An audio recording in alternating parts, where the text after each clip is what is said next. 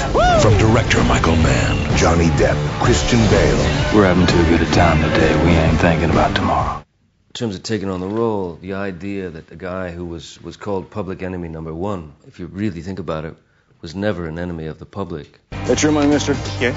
We're here for the bank's money, not yours. Put it away. I think there was something about the twinkle in his eye, you know, that there was something mischievous about him that uh, intrigued. Johnny, how long did it take you to go through a bank? About one minute, 40 seconds. Flat. With John Dillinger, there's there's an enormous amount of information on the guy. We know we know you know where he was at 1202 and all that stuff. You know the banks when the banks were robbed and all that. But there's there's a there's a great gap uh, with regard to really who he was. How do I find the way he speaks? How do, what does he sound like? And what what made it for me was when I made the connection that, that, that John Dillinger was was born in um, Indiana and, and raised in Mooresville, Indiana, which is a, you know like two hours from where I was born and raised. It was at that point that I thought, ah, I hear his voice now. Now I know him.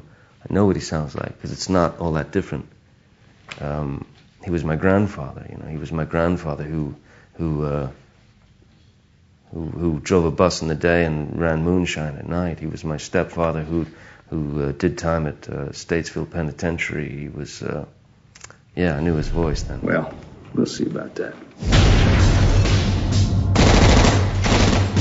I have a, a tremendous amount of respect for Michael as a as a human being, but as a filmmaker as well. He's uh, he's um, he's not joking. You know, he means it.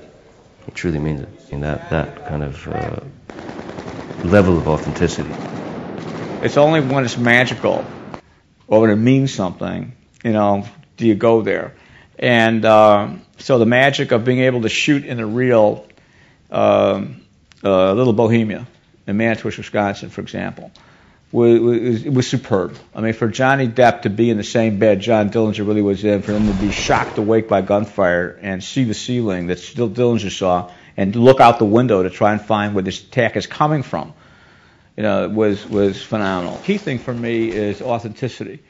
Um, you know how they thought, why they thought the way they did, and in that we do a, a, a lot, a lot of work. I don't like watching myself in a movie because I don't like to be aware of the product. I like the process. I enjoy that. That is, um, I mean, not my fault. We will get it. I ain't going nowhere. Public Enemies.